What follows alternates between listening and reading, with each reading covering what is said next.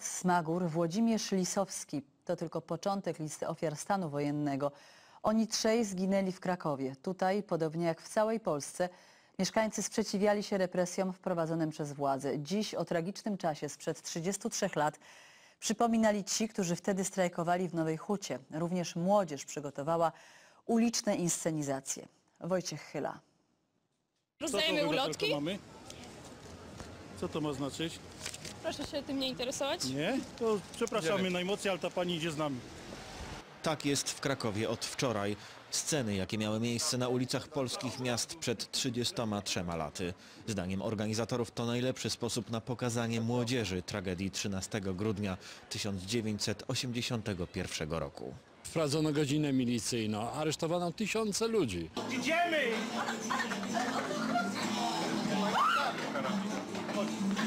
Idziemy!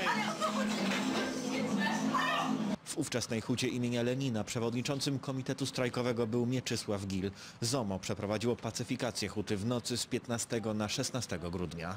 kiedy wjeżdżali w bramy i nie tylko w bramy, w ściany, przebijali się do środka, kiedy zatrzymywano ludzi i pałowano ich, to, to było najbardziej przerażające.